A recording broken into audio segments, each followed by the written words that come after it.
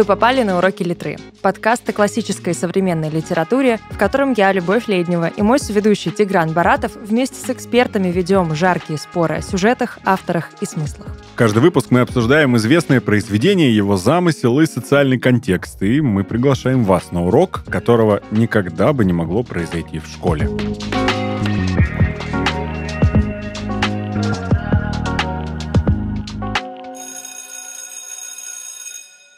Мы сегодня будем обсуждать прекрасное произведение классической литературы «Преступление и наказание».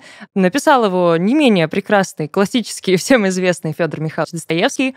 А, на дворе примерно у нас теперь 19 век, и мы будем говорить о христоцентризме, о реализме, о Петербурге, о мрачном русском нуаре и о том, почему не стоит все-таки убивать старушек, даже если они очень сильно бесят. С вами студия Red Barn. Люба, Тигран и блогер книжный Антони Лай. Итак, привет, ребята, привет, Тигран. Привет, привет. Привет, Антони. Привет. У меня создалось ощущение, что в самом начале, Люб, ты выразила свое отношение к этому произведению, к автору. Ты два раза сказала слово «прекрасный». Я так м, встрепенулся, подумал, так, интересно, что она будет дальше говорить. Можно ли считать вот это двойное «прекрасный» твоим отношением э, и к тому, что мы сегодня будем обсуждать, преступление и наказание. Может быть, а может быть и нет. Хорошо, интригантка. А, у нас, э, у нас есть обязательная программа, я назову ее так. Она связана с тем, что нам нужно э, и хотелось бы вообще э, обсудить синопсис произведения, если можно так сказать, в двух словах о чем краткое содержание, о чем преступление и наказание. Потому что я вам скажу, есть люди, которые не читали. Давайте каждый из нас представит свое видение. Э, пожалуй, угу. Энтони начнет. Согласны? Поехали. Давайте. Это будет что-то из разряда, опять же таки, моего преступления и наказания. Это о преступлении и наказании, Супер. как говорится. Угу. Интересно, как, как необычно. Неожиданный ответ. Никто не ожидал этого. Вот это да. Ну, если спрашивать меня, о чем же э, этот роман и что хотел сказать автор, э, то, конечно, произведение это о такой человеческой душе. И, по сути, это наблюдение за этой душой, за метаниями и за тем... Короче, что делает Достоевский? Он такой, мне скучно наблюдать за тем, как человек просто кого-то убивает, и как бы ничего за этим нет. Поэтому я наделю его какими-то сложными характеристиками, помещу его в отвратительнейшую среду, и вот теперь мне станет весело. Весело. Хорошо, если, если спросить меня, э, то я бы сказал, что если у вас в голове появился вопрос, э, как вообще люди это делают, как можно кого-то убить, потом жить еще, потом испытывать какие-то чувства любовные по отношению к кому-то, и вы не понимаете, что происходит с человеком э, в ситуации экстраординарной для вас лично, то можно почитать «Преступление и наказание», посмотреть изнутри, посмотреть со стороны, уже сами там выберите для себя, и попробовать разобраться и сделать какие-то выводы. Мне кажется, мы не очень помогли людям, которые не читали «Преступление и наказание» ну, с вами втроем. Это Вам просто такая коротко, грустная и невкусная, если так прям подводить итог к тому, что мы сейчас ну, сказали. Ну почему же? Мы можем, мы можем взбудоражить э, умы нашей аудитории, сказав им, обязательно ли им читать или не обязательно. Вот что, что мы думаем на этот счет? Сложный, честно, ну, вопрос. На самом деле, да, тут э, не особо понятно, потому что, ну, не каждый, как мне кажется, Достоевского прочитает просто так из э, разряда «Ммм, это легкое чтение на вечер, которым я сегодня займусь». Но, мне кажется, в целом, почему бы и нет? Ну, хотя бы что-то из классической литературы можно и нужно прочитать, и почему бы не выбрать именно преступление и наказание. Почему бы не выбрать? Ну, хорошо, давайте поставим вопрос по-другому. Энтони, например, вот ты э, читал, потому что программа и надо читать было нам, да, когда-то всем. Многие, кстати, не читали, поэтому стоит уточнить этот вопрос. Или потом уже в какой-то период своей жизни ты подумал, надо все-таки это сделать, или хочу это сделать. Как у тебя отношения строились с преступлением и наказанием? Ну, вообще, первый раз я прочитал, естественно, в школе, потому что mm. на уроках это же одно из основных произведений.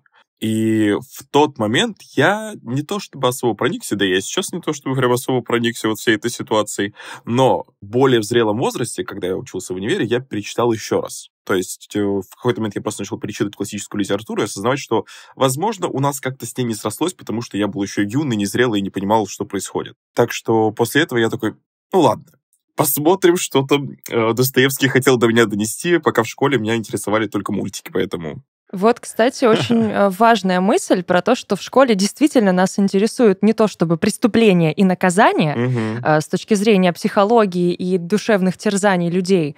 Нас реально интересуют мультики, какие-то более легкие вещи. И если отвечать прямо на вопрос, а надо ли всем читать преступление и наказание, да, но не в школе. Вообще не в школе. Ну, это да. То есть, в принципе, Мгм. да, произведение, написанное очень взрослым человеком, который уже прожил такую сложную жизнь, который прошел через ссылку, который прошел через судебные разбирательства Мгм. и э, долги, и кучу вообще проблем в жизни, и мы такие, ну, давайте, детишки, в свои 15-16 лет почитайте и попытайтесь понять, что там происходит. На мой взгляд, вот это абсолютно неправильно. И, в принципе, я бы, наверное, провела такую революцию в школьной литературе, но Но это уже Да. глобальная отдельная тема. Знаешь, если мы сейчас пойдем с вами по списку, что обязательно читать, чего нет, мы сво- Всё своё- вычеркнем. мы можем Да. сказать. Я могу сказать одно. Даже я не призываю школьников не выполнять требования, не читать Конечно произведения, которые нет. нам дают. Тем не менее, все-таки выбор должен быть. Да. И э, всему свое время. И все-таки классно, когда есть желание, когда Мгм. ты действительно хочешь взять книгу в руки по той или иной причине, и у каждого она своя, если ты ее читаешь и что-то для себя понимаешь, вообще супер круто. Что мы поняли с вами, прочитав «Преступление и наказание»? Бытует мнение, Бытует мнение. Так. Люба, Люба сейчас нас погрузит, возможно, Мгм. в архивы. У меня есть спойлеры. А может быть, и Энтони выдаст э, что-то неожиданное в отношении теории Раскольникова. Да? То есть есть, она существует, э, и в чем же ее суть? Как он видел мир, почему он видел его так или иначе. А может быть, суть теории вообще не в видении мира. Что думаете, ребят? кто начнет? Ой, Давай, теория Раскольникова. уф. ну вот, Энто- вот после Да. вот этих Вот, вздохов ну, я хочу, чтобы Энтони. Давайте. На самом деле, я считаю его теорию абсолютно бесчеловечной. При этом, при всем, вот о, я завидую самооценке Раскольникова на самом да. деле. Вот мне бы вот себе вот такое видение себя, как он видел себя вот в то время, когда он создавал эту теорию, назовем это так. Потому что когда ты как будто бы делишь людей на два класса, причем одни из них высшие, другие низшие, ты такой, «Мгм, то есть ты такой мальчик, да, интересный. А к кому ты сам себя относишь? И он такой, ну вообще-то, я, между прочим, имею потенциал стоять в одном ряду с Наполеоном, с Ньютоном, и я такой, они были известны не потому, что они кокали старушек. Это во-первых.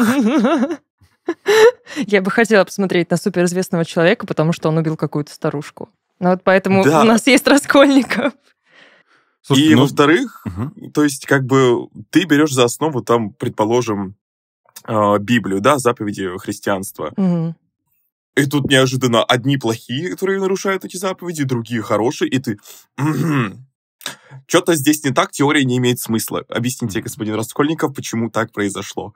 Мгм. Но мы, по сути, наблюдаем, на мой взгляд, наблюдаем э, крах этой теории, мне так Да. кажется. Ну, Да. здесь, в принципе, все идет уже от его фамилии, если уж так копать, Мгм. потому что, в принципе, его фамилия очень говорящая, Раскольников. Здесь и идет речь о направлении раскольников как таковых. Раскольники — это были староверы, которые, в принципе, э, в тот момент доставляли некоторые неприятности Мгм. государству и нравственности, и вот этому мировоззрению э, Бог, царь, государство и все прочее.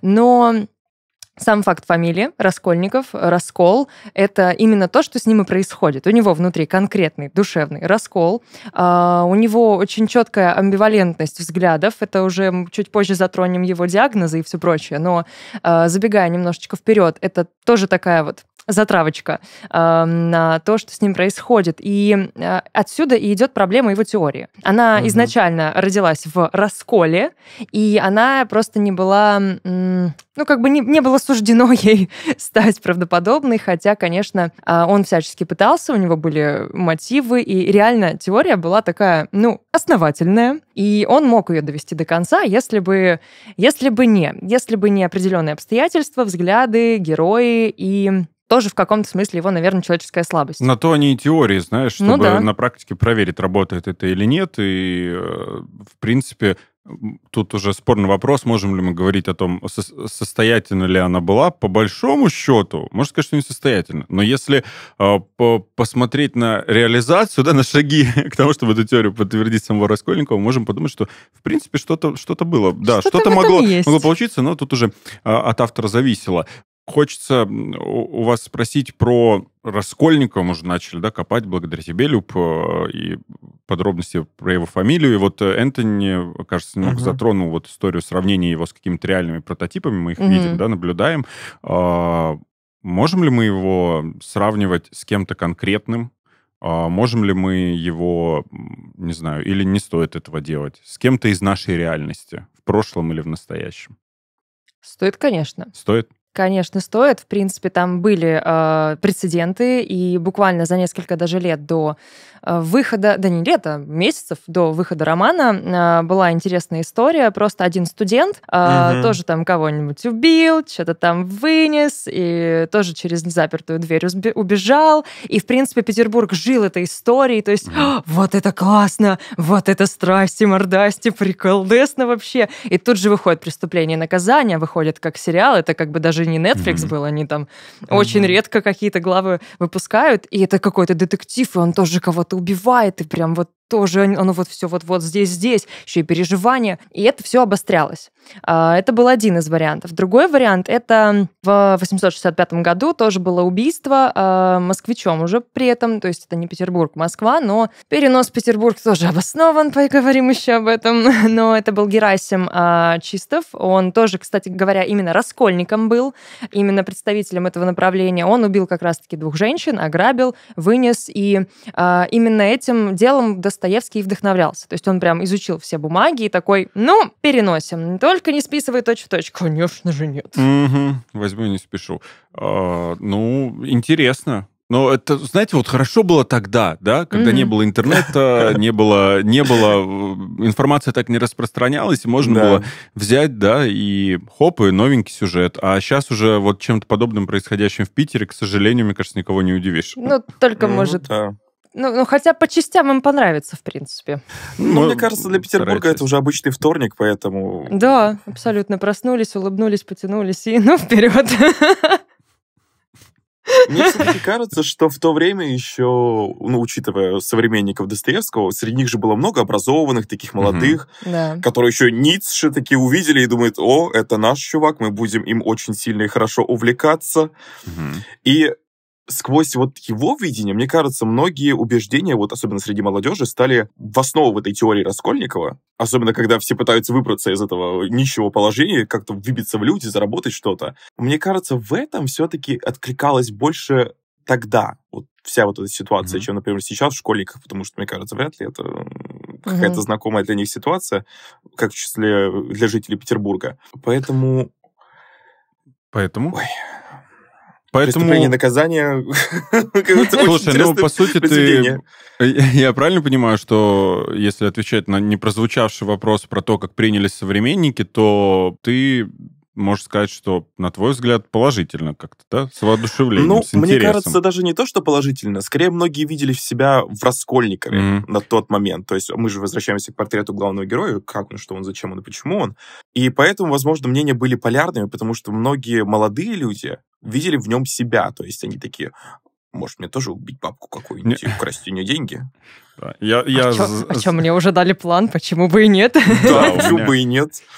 Слушайте, ну тут однозначно, конечно, да, меня всегда такой вопрос э, забавит, будоражит э, относительно того, как э, то или иное явление и произведение было принято. Понятно, что всегда по-разному, да. Может mm-hmm. быть, больше было каких-то симпатий у общества, было людей, которые симпатизировали этому произведению. И то, что я почитал в интернете, ну, меня не то чтобы не удивило, но и не удивило, а, потому что вообще я ожидал, что будет больше негатива какого-то, да, относительно того, что вот тогда-то, когда вышло, я такой, хм, интересно, я этим вопросом не задавался до сегодняшнего, до сегодняшнего дня. Оказалось, mm-hmm. что, в принципе, не так все и плохо было, как да. бы с интересом.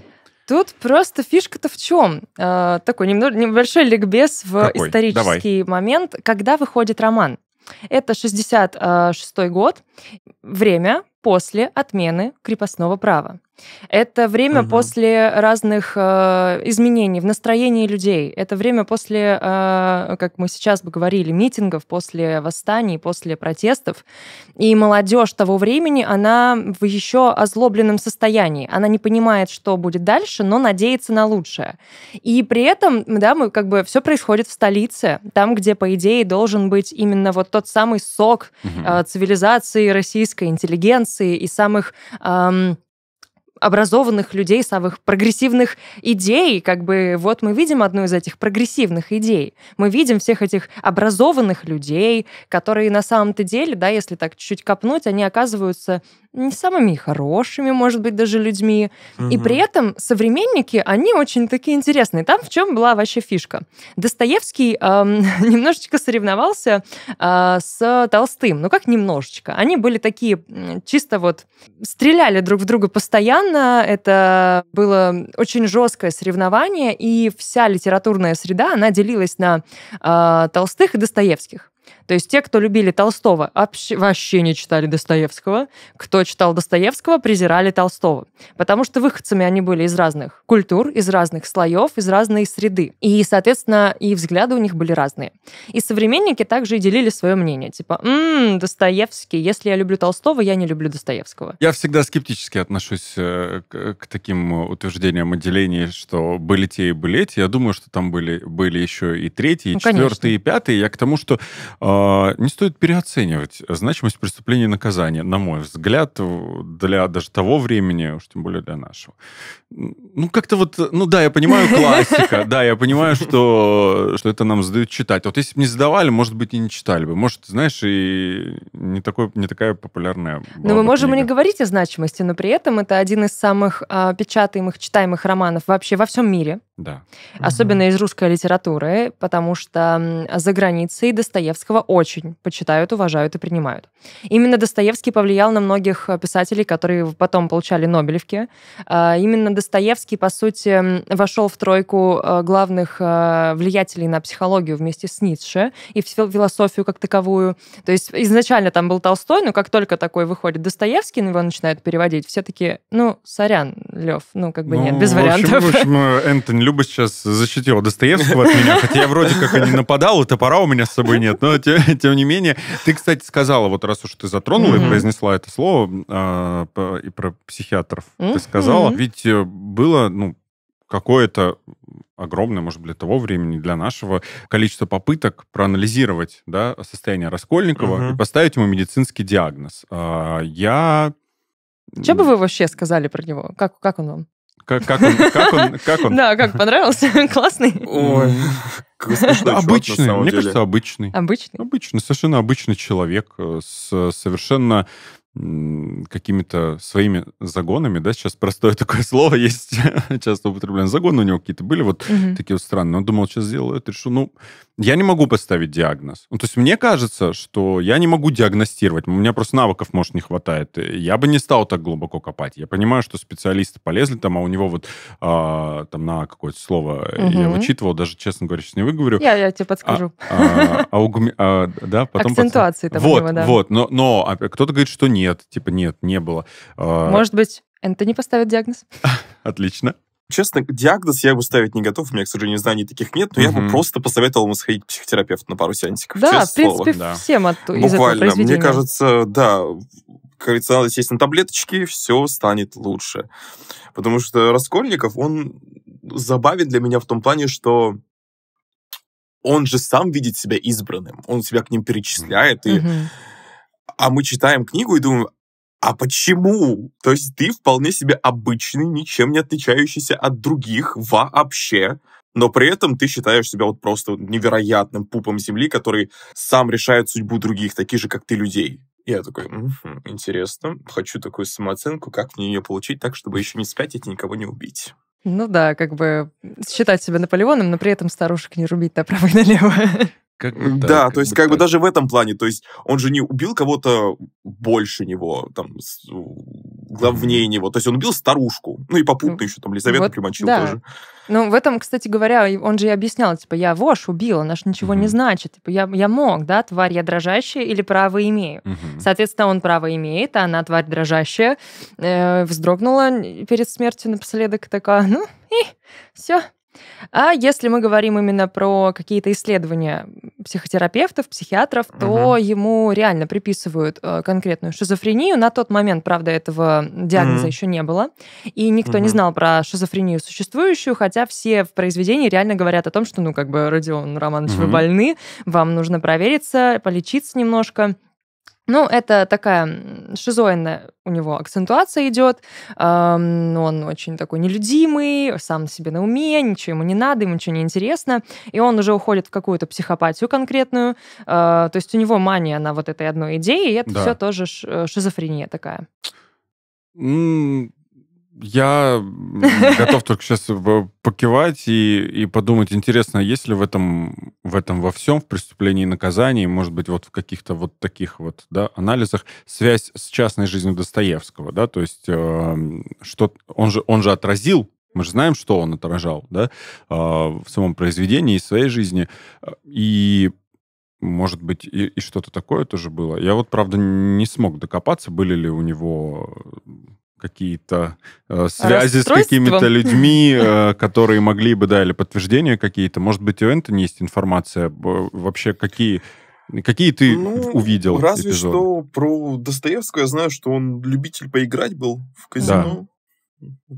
Я не знаю, ну, мне кажется, игромания же тоже все равно болезнь. Это да. обсессия да. в некотором смысле. Угу. Так что, возможно, в этом плане вот именно Достоевский такой, могу ли я это перебороть, могу ли я выиграть? Он вложил как раз-таки что-то подобное в Раскольникова, что у Раскольникова тоже такой, я убью эту старуху, я докажу сам себе, что я избранный, mm-hmm. а потом такой посыпался по кирпичикам чувак, и мы такие, Заюш, mm-hmm. ну, а что ты ожидал? То есть ты там ну, сидел, да. что-то придумывал, э, составлял какой-то план убийства этой старухи, ушел из универа, а потом это все развалилось.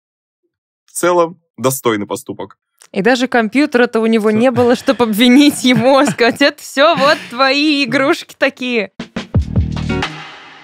Мы живем в состоянии хронической нехватки времени. Мне не всегда хватает времени на то, чтобы спокойно уединиться с хорошей книгой. Аудиокниги стали для меня настоящей находкой. История оживает в голове и становится твоим спутником в дороге, за ужином и даже на работе. Знакомые голоса известных артистов, журналистов и медиаперсон, озвучивших тысячи лучших книг мира, ждут тебя в Inspiria Audio.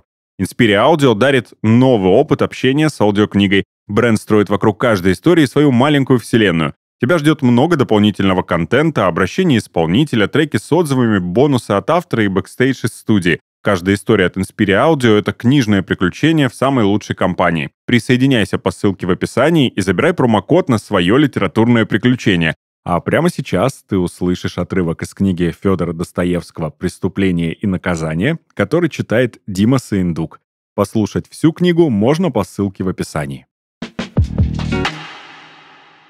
В начале июля, в чрезвычайно жаркое время, под вечер, один молодой человек вышел из своей коморки, которую нанимал от жильцов в Эссом переулке на улицу и медленно, как бы в нерешимости, отправился к Кну мосту. Он благополучно избегнул встречи со своей хозяйкой на лестнице. Коморка его приходилась под самую кровлей высокого пятиэтажного дома и походила более на шкаф, чем на квартиру. Квартирная же хозяйка его, у которой он нанимал эту коморку с обедом и прислугой, помещалась одной лестницей ниже, в отдельной квартире, и каждый раз при выходе на улицу ему непременно надо было проходить мимо хозяйкиной кухни, почти всегда настежь отворенной на лестницу. И каждый раз молодой человек, проходя мимо, чувствовал какое-то болезненное и трусливое ощущение, которого стыдился и от которого морщился. Он был должен кругом хозяйки и боялся с ней встретиться. Не то, чтобы он был так труслив и забит, совсем даже напротив, но с некоторого времени он был в раздражительном и напряженном состоянии, похожем на ипохондрию. Ну, а, если мы говорим о каких-то реальных истоках этого романа, то буквально Достоевский его придумал лежа на нарах То есть, как бы, вся эта идея пришла ему, когда он сам был в каторге, а, именно в той самой, кстати, Омской области, где и а, потом отбывал Раскольников. Он тоже был в втором разряде, а, то есть он буквально знает, через что, да, проходит Раскольников, и он об этом и говорит. Он все это описывает просто с себя списывая. Так ему, кстати, идея пришла в голову этого романа, он был в каторге, он такой говорит, я напишу исповедь. Это будет роман «Исповедь». Просто человек с самого начала начинает от первого лица рассказывать, что он сделал. Но у него еще лежали там рядом заметки по какому-то другому роману, который должен был быть про пьяненьких, и э, он такой... Это были Мармеладовы. И он такой... Да.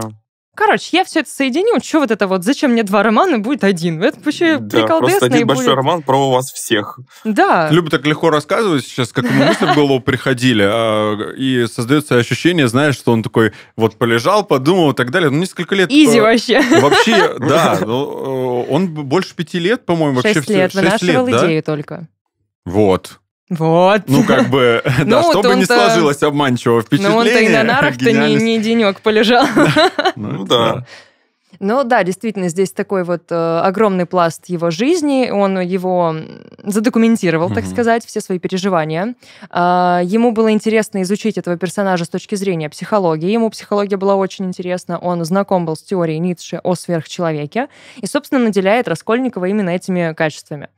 Угу. Прототип, кстати говоря, Дуни, сестры да. Раскольникова, это его первая любовь. Он угу. полностью ее там описывает, и поэтому она максимально святая, максимально такая вот вообще не придерешься даже к ней мы как раз затронули историю о процессе создания, угу. да, самого произведения. Вот Энтони говорила про и, игроманию и известный факт зависимости Достоевского, да, от, не мог он не поиграть. Да. А, и я вот факт такой вычитал перед нашей с вами встречей о том, что а, у него-то был подписан договор с издательством да. на первую часть. И я вот думаю, если бы договора не было, может быть, мы и не увидели бы, потому что человек, человек э, получил гонорар, насколько э, я понял, он его проиграл. Да. Как бы вот срок подходил, нужно Вообще было... Просто да, а, а хочется же еще поиграть, значит, надо вовремя сдать. А хочется-то еще и покушать. И потом еще написать. И вот мне непонятно, что больше его мотивировало на написание, знаешь, там вот как-то отрефлексировать происходящее, произошедшее и происходящее с ним в жизни или денег на азартные игры. Интересный, кстати, вопрос. Я вот с такой позиции не думала о том, что его реально мотивировало. Это были деньги, которые он должен, или дедлайн, или что, или Великие желание какие-то заработать. вещи и под руководством каких-то низменных вот таких вот потребностей реализуются достаточно легко мне кажется. Ну, тут надо просто еще учитывать, что все-таки у него были наработки по этому произведению за все эти угу. шесть лет. То есть Могли там... так и пролежать. Мы знаем много историй. Ну да, я тут... Да, здравствуйте. А тут, а тут, вот выпала возможность. Слушайте, нам очень, э, очень важно с вами еще сегодня обсудить много вопросов. Давайте попробуем в формате Блица. Вот представим, что мы на уроке литературы, угу. а, а, а почему бы и нет, да? А, Люба да. в самом начале была готова взять на себя роль учительницы. Я учи... готова, да. Я... Здравствуйте, а, я теперь Любовь Андреевна. Отлично. И не знаю, Энтони, как ты себя вел на уроках литературы? Я вообще не Ой, я был хорошим мальчиком. Да? Что я ни одного урока не прогулял в школе, ни одного. Ты был любимчиком учительницы по литературе? Да, между прочим, да. Угу. Значит, мы сойдемся. Поехали. Посмотрим, либо будешь ли ты гордиться Энтони и мной. Итак, давайте, э, давайте поотвечаем несколько вопросов. Угу. Наверное, Люб, ты будешь задавать как учитель или я как ученик? А я бы хотел спросить, каким образом автор развенчивает теорию Раскольникова? А, а что это он там вообще... Но ведь нам задавали сочинения на всякие разные Конечно. такие темы. Давайте порассуждаем, попробуем э, в таком формате, в паре предложений. Конечно, каким задавали. вот образом он? По сути, он просто дает понять, что, ну, как я уже говорила изначально да. про его фамилию, да, она была... Эм, это был облом с самого начала. Ну, как бы такой... Ну, сорян, не выйдет ничего у тебя. Эм, там очень много всего можно привести, и все вот эти сейчас темы, которые мы будем поднимать, они будут сводиться примерно к одному и тому же. Mm-hmm. Они будут сводиться к тому, что это направление реализма, э, которое зарождается, в принципе, в XIX веке, именно в Петербурге. И э, это все нормально. То есть поднимать какие-то остросоциальные темы, э, показывать жизнь, мир именно так, как оно и есть, без прикрас. Это все реализм. Э, то есть он идет по стопам Гоголя, идет по стопам Пушкина. И доказать, что вот э, все-таки мы все твари дрожащие, и никаких прав не имеем, э, Раскольникову было нужно, и Достоевскому было да. нужно. Э, при этом он, в принципе, изначально Достоевский Федор Михайлович такой, типа, ну, роман будет о сожалении, о сострадании и о приходе к любви. Поэтому ему было невыгодно говорить, что типа, да, теория работает. Ну, Вообще, отлично, ребят, классный урок по жизни, всем советую. Идем выпивать старушек. Пробуйте Люба, лайк. ты как класс. настоящий учитель. После тебя сложно будет говорить. Мало того, что ты развернула нам целую лекцию, э, ты, Я на- ты народ- ты устанавливаешь правила. Я понимаю, как преподаватель. Но я подумал, это была ошибкой дать тебе первое слово, потому что ты ведь у нас в роли учителя, получается. Ну, вот хорошо, видишь, ты взяла и все буду- самое важное сказала. Нет, А, я еще даже не начала. Я Не начала? Я Энт- только, только, Энтони, мы как ученики... Давай, давай, давай будем э, соблюдать, то есть О, как получим сейчас. да. Хотя, да. А, Развенчивает теорию вообще Раскольникова автор. И каким образом? На самом деле очень простым, потому что Раскольников, как я уже говорил, обладает такой непомерной гордостью и считает себя избранным. И в его голове вот этот избранный, он легко переступит через кровь, э, потому что он э, расселяет благодати, благодетели, все остальное в таком духе. И естественно, что ему чувство угрызения, э, ну, неведомо вообще.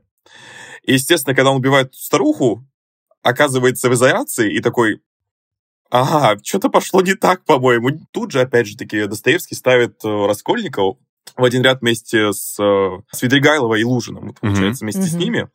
Что, мол, Свидригайлов ему говорит, мы с тобой одного поля ягодки, и Раскольников такой, а, да? Неожиданный поворот сюжета, что-то как-то я не думал об этом. Просто такой, а, ой. что- Да, а ой, подождите, я не, не, не не хотел эту ситуацию. Вот. И Раскольников через, опять же, такие упокоения своей расколотой души, там, через любовь, через принятие, через раскаяние, э, обретает некий покой. То есть э, оказалось, что он не, не избранный. То есть он Мгм. не- нельзя так просто отвернуться от чувств, от э, угрызений совести и от всего остального, что, естественно, следует за тем, как ты убил бабулю и еще прирезал там, как говорится, девчулю. Слушай, ты вот э, ты Свидригайлова и Лужина упомянул. Считаем их антагонистами, что думаете? А, в Давайте этом сначала вот э, произведении? теперь правильно пойдем. Вы скажете, И мы а я скажем. потом, а, да, Слушайте, я, ворвусь. я по первому вопросу скажу, что каким образом автор развенчивает. Я вот хороший ученик. Я говорю, ну как, вы почитайте. Вы поймете, каким образом. Прочитайте, и на каждой с странице помощью увидите. слов, да, и сюжета. А кто является антагонистами и в чем их роль? Ну вот э, Энтони озвучил, на мой взгляд, э, и моя позиция Мгм. э, совпадет с его в данном случае, э, что вот мы видим, вот есть Раскольников, вот есть вот эти ребята, и мы видим, что происходит, и там классический сюжет, на самом деле. Да. Если... ну, поним- Ну, Да. он классический, Ну, я к тому, но он что- там и рождается. Да, я к он тому, что классический именно потому, что у нас есть преступление и наказание. Да? Это, в принципе, первый... атаку. Это первый роман-детектив в России. Это, в принципе, э, самое начало, когда у нас зарождается э, вот такой психологический драматичный трагизм Да. в литературе. Потому что до этого даже, да, несмотря на то, что Гоголь ставил Да. в центр внимания вроде бы как преступников, но это было так по мелочи. Типа, Мгм. да, я всего лишь мошенник, мертвые души. И как бы все вот эти фишки, они просто были как игрушки. То есть, да, это такая песочница. А, а Достоевский такой, я замахнусь настолько, что это будет убийца. Убийца, который считает себя правым, который не раскаивается. По сути, честно говоря, до конца он так и не раскаивается в том, что он сделал. Как бы он больше от тоски признается. Мгм. Потому что ему скучно, ему надоело, все это он уже реально кукухой немножечко поехал, тронулся. И э, именно поэтому он приходит э, к вот этому решению, ну, типа, мне больше делать нечего, поэтому пойду признаюсь. А что касается антагонистов, и что касается Лужина, э, Свидригайлова, Разумихина и всех прочих ребят, фишка в том, что у него нет антагонистов в этом произведении. Они все являются его двойниками. И э, Достоевский нарочно создает каждого из них максимально, эм, ну, такими гиперболизированно странными. То есть он прям акцен- акцентирует наше внимание на каких-то чертах характера, которые нас бесят. Но фишка в Мгм. том, что каждый из них это отражение Достоевского. То есть Лужин говорит, типа, «А, человеку можно все. Типа, я должен концентрироваться на себе, я ставлю себя во главе стола, и поэтому я самый крутой. И, ну, как бы Раскольников такой, ну да, я же право имею, я сверхчеловек. Свидригайлов такой, «А, человек способен на все, и все дозволено для него. И Раскольников такой, ну, как бы, да, я же сверхчеловек, я Мгм. могу кого-то убить. Даже тот же самый Разумихин, да, который как студент, как его реальное просто социальное от- отражение, он является его и двойником, и антагонистом, опять же. Его сестра — это чисто его двойник по характеру, но это его антагонист, да, при, при этом по позиции. Соня могла бы здесь стать максимально его антагонистом, но она при этом на его стороне. То есть Достоевский такой, вы не найдете ни хорошего, ни плохого персонажа. А их, кстати говоря, в произведении больше, чем 90. Не знаю, мне кажется, Раскольников плохой. Это можно смотреть абсолютно Я нашел. черту. Я Ну, нашел. Да, Энтони. Да, мы нашли антагониста, ребят, заканчиваем Все, ситуацию. закругляемся. А, Слушайте, вообще вот все, все, что мы с вами обсуждаем, а, мне кажется, есть одна очень важная вещь, может, я заблуждаюсь. Если бы все это происходило не в Санкт-Петербурге, было бы не то. Согласны? Да. Есть Мгм. вот это, что, что-то в этом, да, атмосфера, мы все равно визуализируем, читаем, представляем. И вот в Москве, ну как-то...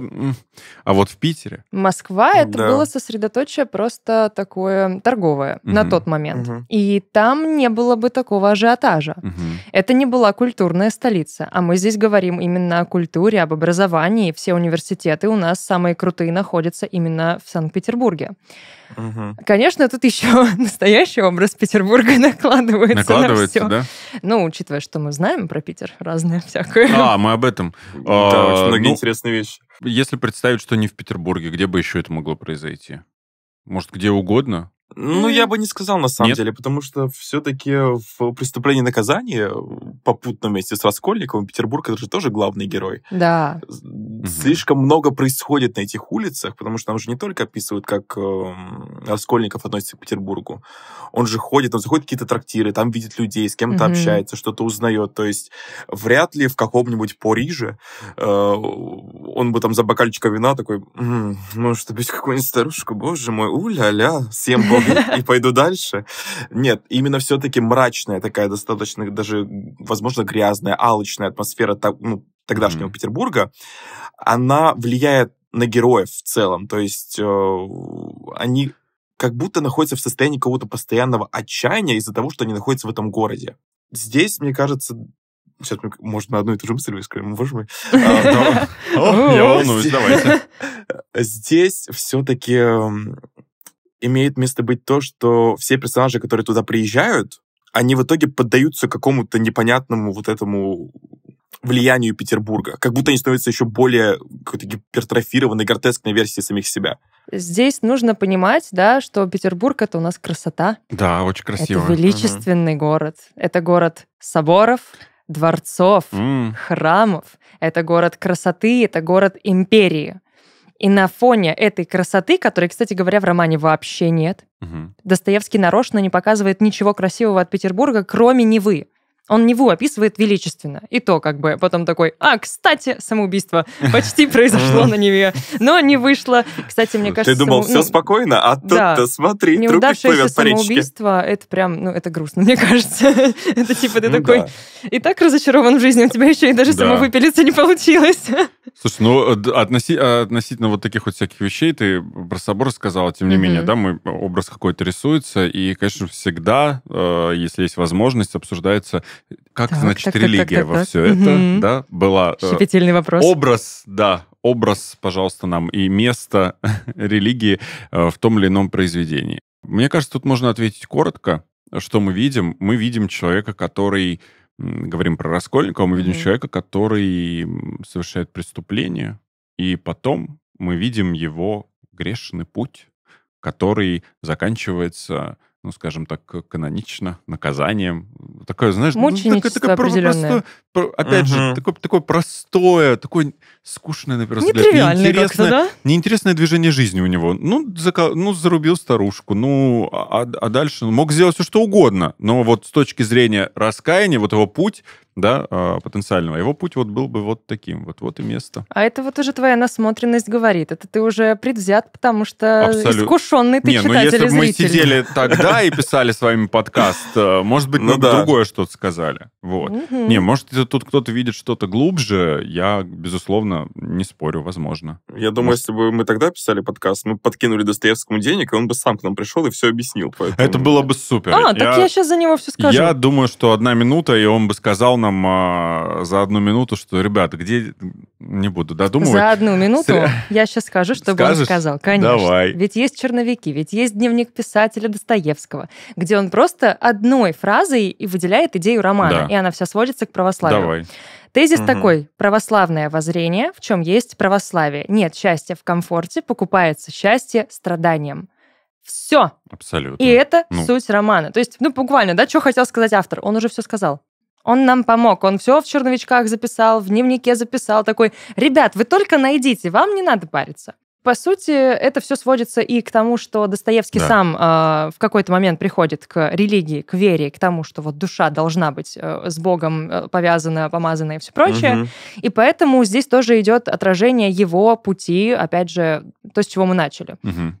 Да. Я, в принципе, сказал про... Вот это, это же, это же простая, понятная история. Вот он совершил преступление, он раскаивается, все это, естественно, через Конечно. страдания. э, там, это же не- Россия. Ну, не может, не, не может быть иначе, да. Россия для А, грустных. А, Конечно.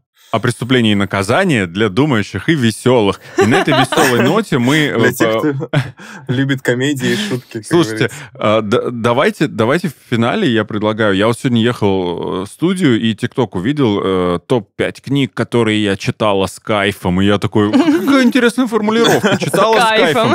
э, По-питерски звучит, кстати. Преступление и наказание. С кайфом можно проч- прочитать. Как, что скажем? Э, Ну, Думающим. Э, я думаю, можно сказать, как сейчас говорит молодежь. Как? С таким легким ощущением кринжа или рофла, это да. что-то в этом духе. Вот. ну, ну, как на самом точно деле, не на Чили. да. Ни на чили, ни на расслабоне Вообще вообще нет. нет. То есть, естественно, что, учитывая, как еще Достоевский пишет. Куча же тиктоков по этому поводу есть, где все ржут с того, что ну не, не всегда поймешь Достоевского, и что он там пытается до тебя донести. Мне кажется, что «Преступление и наказание» нужно читать в определенный момент своей жизни, когда тебе хочется много подумать о том, Это да. кто такие люди, о том, что они делают, почему они могут делиться на какие-то определенные категории, о том, что имеет значение религия и так далее и тому подобное. Потому что у э, Достоевского же все в этом романе пропитана религия, о том, что вот, мол, без сострадания, любви и очищения вам всем кирдык. Поэтому, как говорится, И вот так вот, да. Как говорится, да. Ну, вот и, вот и все. Пятерки нам всем, мне кажется, мы молодцы по пятибалльной системе. По Да? пятибаль- Сейчас же пятибалльная еще в школе. Мне кажется, да, нам бы пятерку поставили. Люба осталась, мне кажется, Ну, или. Энтони Да, мы не будем спрашивать Любу, которая здесь была в роли учителя литературы, но я бы поставила нам пятерки. Спасибо большое вам, ребят. Спасибо вам. Прекрасное было обсуждение очень веселого произведения. Спасибо, Энтони, спасибо, Люба. И Спасибо нашим слушателям. Спасибо. Всем спасибо. Всем спасибо, всем хорошего дня, хорошего настроения, читайте хорошие, веселые книги. Благодарны вам за то, что вы с нами, как говорится. Да.